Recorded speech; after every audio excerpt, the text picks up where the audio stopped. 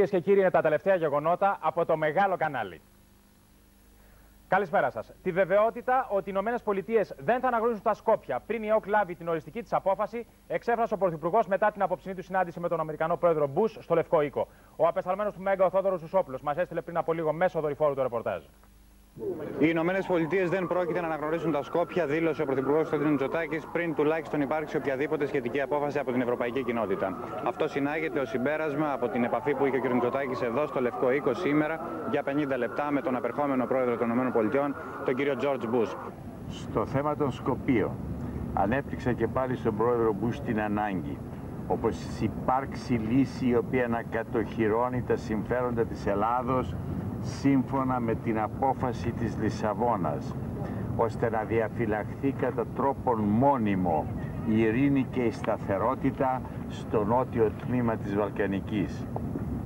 Οι Αμερικανοί δεν θα σπεύσουν σε καμία περίπτωση να αναγνωρίσουν τα Σκόπια προτού ξεκαθαρίσει η προσπάθεια την οποία έχει αναλάβει η Ευρώπη. Μία ώρα και δέκα λεπτά διήρκεσε συνάντηση του Πρωθυπουργού Κωνσταντίνου Μητσοτάκη με τον Υπουργό Εξωτερικών των ΗΠΑ, Λόρενς Σίγκλμπεργκερ, εδώ στην πρεσβεία της Ελλάδος στην Ουάσιγκτον. Ο κ. Σίγκλμπεργκερ, βγαίνοντας από το κτίριο, δεν θέλησε να κάνει δηλώσεις. Mr. Secretary, are you going to lead to follow the European Community decision about Macedonia, the issue of Macedonia? I don't have any comment on those questions. How was the discussion with the Prime Minister? Very good, very friendly. Από την Ουάσιγκτον, Θόδωρο Ρουσόπουλος για το Μέγκα. Ευχαριστούμε πολύ τον Θόδωρο Ρουσόπουλο. Στην Αθήνα τώρα εκτεταμένα επεισόδια προκάλεσαν ομάδες κουκλοφόρων που ακολουθούσαν την ειρηνική πορεία για την επέτειο του Πολυτεχνείου. Επετέθησαν με βόμβες Μολότοφ εναντίον του κεντρικού ταχυδρομείου που τυλίχθηκε στις φλόγες και κινδύνευσαν άνθρωποι. Οι μασκοφόροι έβαλαν φωτιά σε καταστήματα, τράπεζες, εκδοτήρια της ΕΑΣ και τραυμάτισαν δύο αστυνομικούς όταν συγκρούστηκαν με τα ΜΑΤ.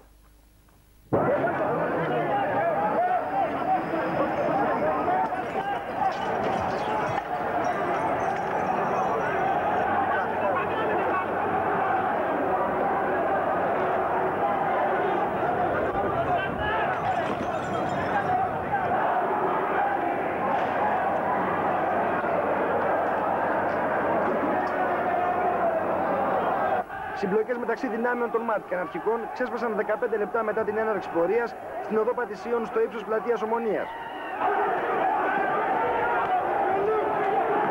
Από τις βόμβες Μολότοφ που εκτοξεύτηκαν στα γραφεία του ΕΛΤΑ στην οδό Εόλου ξέσπασε μεγάλη πυρκαγιά.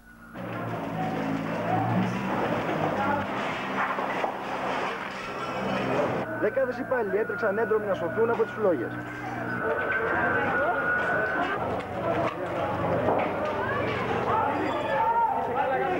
Την πορεία που ξεκίνησες στις 5 παρατέταρτο ακολουθούσαν περίπου 500 αναρχικοί. Μετά τα γραφεία των ΕΛΤΑ, στις φλόγες παραδόθηκε η τράπεζα Πυραιός στην οδό Σταδίου.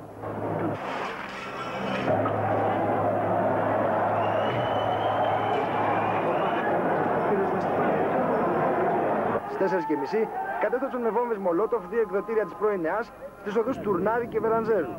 Άλλες δύο βόμβες Μολότοφ εκτοξεύτηκαν εναντίον αστυνομικής δύναμης στην πλατεία Κάνικος και στα γραφεία της Νέας Δημοκρατίας στην οδό Χαλοκονδύλη. Στις 3.30 συνελήφθησαν στην πλατεία Ομονίας ο Γιώργος Γκουλάκης και ο Βασίλης Ζαφύρης, γιατί στην κατοχή τους βρέθηκαν βόμβες Μολότοφ και στιλέτα.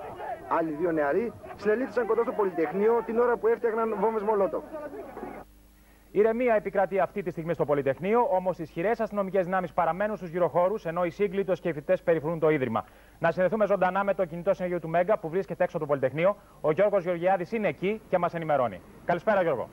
Καλησπέρα σας κυρίες και κύριοι. Βρισκόμαστε πράγματι έξω από το Πολυτεχνείο στην οδό Πατησίων, όπου αυτή τη στιγμή δόθηκε εντολή στις δυνάμεις των ΜΑΤ να αποχωρήσουν. Μόλις αυτή τη στιγμή ε, οι κλούβες μία-μία αρχίζουν να αποχωρούν. Μέσα στο Πολυτεχνείο ελάχιστος κόσμος από την περιφρούρηση παραμένει, ενώ πριν από λίγη ώρα ο Πρίτανης και αντιπροσωπεία του Κεντρικού Συμβουλίου της ΕΦΕ επεσκέφθησαν τη Γενική Αστυνομική Διεύθυνση Αττικής και ζήτησαν την απελευθέρωση των περισσότερων από τους κρατούμενους φοιτητές και σπουδαστές.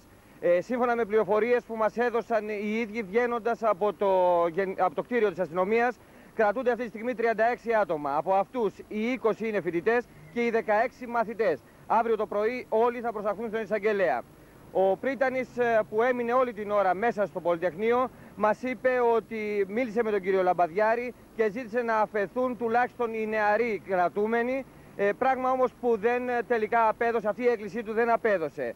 Ε, είπε ότι πολλοί από αυτούς που προκάλεσαν τα επεισόδια δεν συνελήφθησαν και πολλοί από αυτούς που συνελήφθησαν, ήταν, ε, συνελήφθησαν μάλλον αδικαιολόγητα.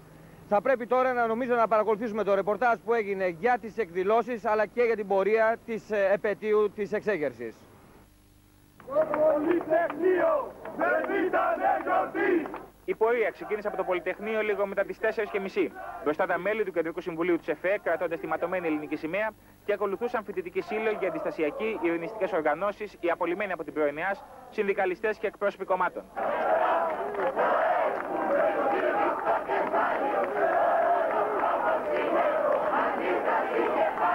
Εκατοντάδες άτομα κατά μήκος των οδών με χειροκροτήματα υποδέχονταν την πορεία. Στις 5 και 20 η κεφαλή της πορείας πέρασε μπροστά από την Βουλή. Στη συνέχεια η πορεία κατευθύνθηκε στην Αμερικανική Πρεσβεία όπου και διαλύθηκε. Μετά τις 11.30 κατέθεσαν στεφάνια οι πολιτικοί αρχηγοί και οι εκπρόσωποι κομμάτων. Οι στόχοι τους, το όραμά τους, η γενιά εκείνη του Πολυτεχνείου παραμένουν όσο επίκαιροι όσο ποτέ. Ο αγώνας του Πολυτεχνείου αποκτά φέτος μεγαλύτερη σημασία γιατί αποδεικνύει την ουσιαστική σύνδεση που έχει με τον αγώνα της κατοχής στο Εθνικό Απελευθερωτικό και τους σημερινούς αγώνες του λαού μας. Το μήνυμα του Πολυτεχνείου είναι πάντα επίκαιρο. Σήμερα γίνεται μήνυμα για μια δημοκρατική κοινωνία, για απομάκρυνση του αυταρχισμού, για καλύτερες μέρες του ελληνικού λαού η Νέα Δημοκρατία, όπως είπε ο πρίτανης του Πολυτεχνείου Νίκος Μαρκάτος, αντί Στεφάνου, θα καταθέσει χρηματικό ποσό για την αναστήλωση της Πριτανία που κάηκε στα περσινά επεισόδια. Τρεις εταιρείες που διακινούσαν πρώτες ύλες για την παραγωγή ηρωίνης στα Σκόπια έχουν θέσει υπό παρακολούθηση ιδιοκτικέ αρχές μετά τα αποκαλυπτικά ρεπορτάζ του Μέγκα για το κύκλωμα των Σκοπιανών λαθρεμπόρων λευκού θανάτου και όπλων. Ένα Ιορδανικό σκάφος στον Πειραιά ελέγχθηκε εξονυχιστικά, ενώ στη Θεσσαλονίκη ο εισαγγελέας έδωσε εντολή να ερευνηθούν ξανά οι φάκελοι όσων συνελήφθησαν για διακίνηση ηρωίνης μέσω των Σκοπίων. Η προμήθεια των χημικών υλών για την παραγωγή ηρωίνης γίνεται από τη φαρμακευτική εταιρεία Alkaloid και την εμπορική εταιρεία Replec Skopje. Χρηματοδότηση αγοράς πρώτων υλών είναι η επίσης σκοπιανή εταιρεία Ohit με διευθυντή τον κύριο Τζιάρο. Η εταιρεία παράγει πλαστικές ύλες και έχει μάλιστα πελάτες πολλές εταιρείες στη Βόρεια Ελλάδα, όπου υπεύθυνος του παρατήματό της είναι ο κουμπάρος του Τζιάροφ, κάποιος κύριος Μινόφσκι. Οι ελληνικές διοκτικές αρχές έχουν θέσει υπό παρακολούθηση κάθε δραστηριότητα των εταιριών αυτών, ενώ παραλλήλως ειδικά ενημερωμένοι υπάλληλοι αναζητούν στοιχεία για τη δράση των λαθρεμπόρων και στη Βουλγαρία. Σύμφωνα με απόλυτα ασφαλείς πληροφορίες του ΜΕΓΑ, πολλές από τις παράνομες δραστηριότητες πραγματοποιούνται κοντά στα ελληνικά σύνορα. Μία ακόμη πληροφορία αναφέρει ότι τα ναρκωτικά από τα Σκόπια προς την Ιταλία μεταφέρουν μικρά βουλγαρικά αεροπλάνα που ανήκουν σε αερολέσχες. Μέσα σε αυτό το κλίμα της πειρατείας και των δεκάδων πληροφοριών, ο Υπουργός Εξωτερικών, κ. Μιχάλης Παπακοσταντίνου, συνάντησε σήμερα τον Ισραηλινό πρεσβευτή, από τον οποίο ζήτησε εξηγήσεις σχετικά με την αγορά από τους Σκοπιανούς πρώτων υλών για την παραγωγή ηρωίνης. Ο κύριος Σασόν αρνήθηκε ότι το Ισραήλ κατασκευάζει οξικό ανιδρύτη και χαρακτήρισε κακόγουστο αστείο ότι η πατρίδα του συνεργάζεται έστω και εμπορικά με το μεγαλύτερο εχθρό της στη Συρία. Όμως κανένα ρεπορτάζ δεν ανέφερε τέτοια πληροφορία. Ο κύριος Παπακοσταντίνου αμέσως μετά τη συνάντησή του με τον Ισραηλινό πρεσβευτή δήλωσε. Εμείς εξακολουθούμε όπως καταλαβαίνετε να κάνουμε τις ε, δικές μας έρευνες διότι οι πληροφορίες που έχουμε σχετικά με αυτό το, την παραγωγή είναι στα Σκόπια έρχονται από πολλές πλευρές. Νέα γιγαντιαία επιχείρηση κατά της μαφίας εξαπέλυσαν Ιταλοί, Γερμανοί και Γάλλοι. Στη Ρώμη ανακρίνονται βουλευτές, επιχειρηματίες και δικηγόροι, ενώ μέχρι στιγμής έχουν συλληφθεί πάνω από 100 άτομα. 2.000 αστυνομικοί έχουν κινητοποιηθεί από τα ξημερώματα για τη μεγάλη επιχείρηση με το όνομα Λεοπάρτ που εξαπέλυσε εναντίον της μαφίας η Ιταλική αστυνομία. Στη Σικελία, τη Λομβαρδία, την Τοσκάνη αλλά και σε άλλες ευρωπαϊκές χώρες όπως η Γαλλία, η Ολλανδία και η Γερμανία έγιναν περισσότερες από 100 συλλήψεις ενώ έχουν εκδοθεί συνολικά 203 εντάλματα. Τρεις Ιταλοί βουλευτές, επιχειρηματίες, δικηγόροι, κοινοτικοί σύμβουλοι και άλλοι επιφανείς Ιταλοί θα προσαχθούν στον εισαγγελέα. Κατηγορούνται για φόνους, ληστείες, καταχρήσεις και εκλογικές απάτες. Πριν από λίγο καιρό, άλλο είχαν προκαλέσει στην Ιταλία οι δηλώσεις δικαστή που ισχυρίστηκε ότι το δεξί χέρι του πρώην Πρωθυπουργού Αντρεώτη, ο Σάλβο Λίμα, ήταν ο σύνδεσμος ανάμεσα στη μαφία και σε επιφανείς Ιταλούς πολιτικούς.